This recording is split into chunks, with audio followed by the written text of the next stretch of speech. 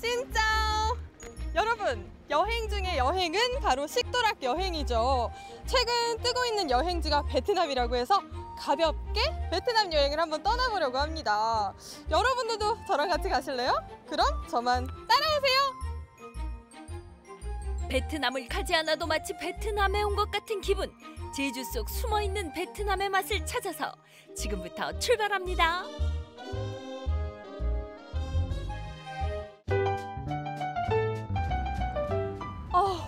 더워 더워 더워도 너무 더워.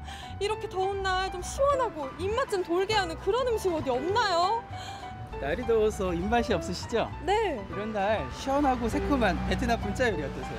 분짜 요리요? 네, 한번 드셔보실래? 어, 너무 좋습니다. 출발하시죠. 더위에 지쳐 입맛을 잃어버리신 분들 모두 주목!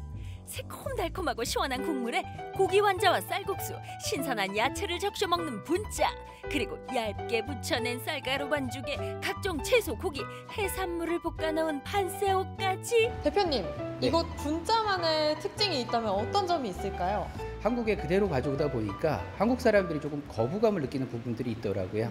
그래서 그런 부분들을 제가 조금 개선한 부분들이 좀 있습니다. 베트남에서 면을 보통은 조금 음, 얇은 그 넓적면을 사용을 하고 있는데 저희는 이제 보통 버미셀리라고 해가지고 샐러드나 비빔국수에 사용하고 있는 면을 지금 사용을 하고 있습니다. 베트남 하노이 지역을 대표하는 음식 분짜 고기를 갈아 만든 고기 완자와 짜조 씹히는 식감이 일품인 얇은 면의 쌀국수가 새콤달콤한 국물을 만나 촉촉하게 어우러집니다. 이번엔 베트남식 빈대떡 반새우. 바삭한 맛으로 사람들의 입맛을 사로잡는데요 자, 그러면은 제가 분짜를 먼저 먹어보도록 하겠습니다. 한상 가득 차려져 나온 분짜 원하는 재료를 골라서 시원한 국물에 풍덩 그리고 후루룩 먹어주면 시원하고 새콤하고 그리고 아까 말씀드렸듯이 면만 먹으면 배가 금방 꺼지는데 이렇게 고기까지 있어서 든든하게 한 끼 먹을 수 있는 음식인 것 같습니다. 그냥 먹어도 맛있는 반쎄오지만 라이스 페이퍼와 상추에 싸서 원하는 소스에 콕 찍어 먹으면 더욱더 맛있게 즐길 수 있답니다. 더운 여름 입맛을 돋궈줄 분짜 드시러 많이 오세요. 계속해서 이어지는 베트남의 맛을 찾는 여행. 두 번째 베트남 음식은 과연 어떤 음식일까요? 가게 안으로 들어서자마자 반겨주는 건 에, 빵인데요. 베트남 요리를 소개하는데 빵이 나왔어요.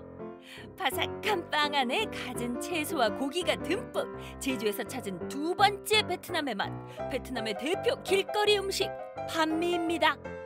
왜 베트남 음식점을 하게 되셨는지 그것도 궁금해요. 베트남 음식이 어, 저희들이 생각할 때는 굉장히 건강에 관련된 음식이라고 생각을 했었고 또 사실 저, 저나 집사람이 베- 어, 음식에 관한 전문가들이 아니었어요. 그래서 어, 그래도 저희들이 좀 도전해 볼 수 있는 영역의 음식이 아닐까 이렇게 생각해서 관심을 갖고 그때부터 준비해 본 게 계기가 됐습니다.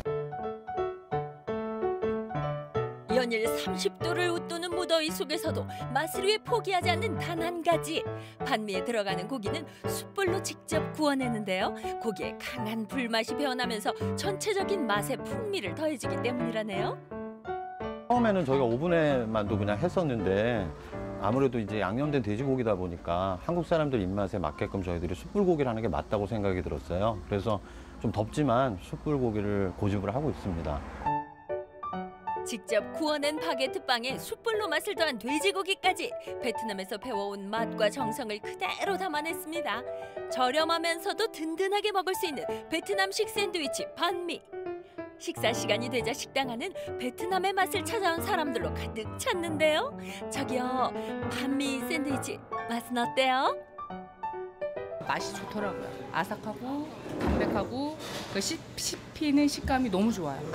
빵도 부드러워서 아기도 먹을 수 있고 고기도 조금씩 조금씩 뜯어주면 잘 먹으니까 데리고 올 때마다 꼭 찾게 되는 것 같아요. 맛있고 간편하게 베트남 맛을 즐기고 싶으시다면 반미 강추합니다.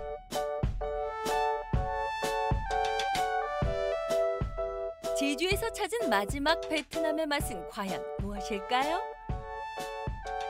아하, 그렇죠. 베트남 하면 바로 떠올리는 그 맛, 쌀국수죠.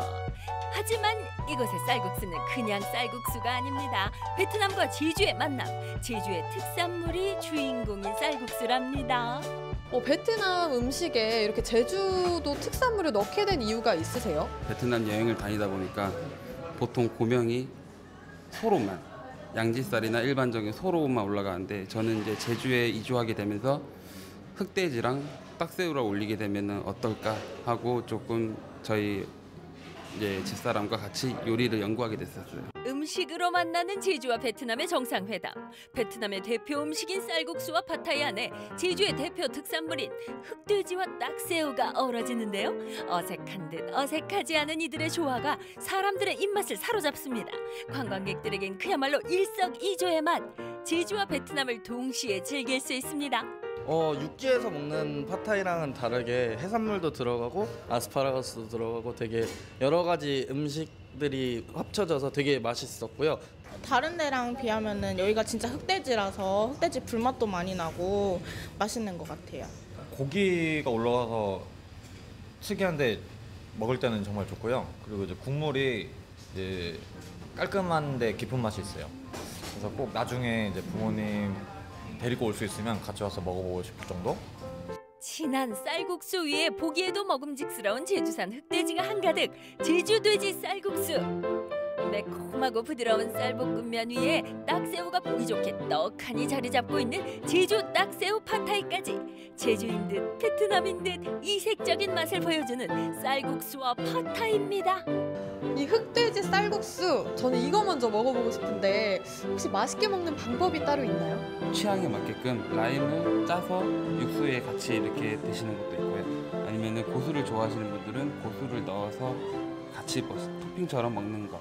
그리고 매운 걸 좋아하시는 분들은 베트남 고춧가루가 있거든요. 이거를 넣어서 같이 드셔보면은 맛있을 거예요. 자 사장님이 만들어주신 이 쌀국수 제가 한번 먹어보도록 하겠습니다. 보기엔 일반 쌀국수와 다름이 없는 것 같은데 제주의 흑돼지가 잘 어우러질 수 있을까요? 팟타이에도 알려준 대로 라임을 척척 뿌려주고 상큼한 맛을 더해준 팟타이에 고수 살짝 넣어 한 입 먹어보면 제가 고수를 잘 못 먹는다고 말씀을 드렸는데도 고수 향이 그렇게 강하지 않고 돼지고기가 이 고수의 향을 싹 잡아줍니다. 그리고 제주산 흑돼지라고 하셨잖아요. 야, 역시 제주산이 최고예요. 아우 배부르게 너무 잘 먹었습니다, 사장님. 네, 아직 다 끝난 게 아니라 후식이 아직 남아 있어요. 베트남식 후식이요? 세계적으로 유명한 베트남 커피를 마셔볼까요? 카페핀에 원두를 넣고 뜨거운 물을 부어 우려내는데요. 이때 연유를 미리 넣어 달콤한 맛을 더해줍니다. 요즘 같은 날씨엔 시원한 얼음과 함께 달콤한 아이스 커피로 즐겨보세요. 이번 여름 바빠서 휴가를 못 가신다고요? 그렇다면 맛있는 베트남 음식들로 제주에서 베트남을 느껴보세요. 한 나라를 알려면 그 나라의 음식을 먹어보라는 말이 있듯이 음식이 지닌 힘은 무궁무진한데요. 베트남의 대중적인 음식 쌀국수부터 시원하게 즐기는 분짜, 서민들의 길거리 음식인 반미까지 제주 속 숨어있는 베트남 음식들로 베트남의 기운을 느껴보세요.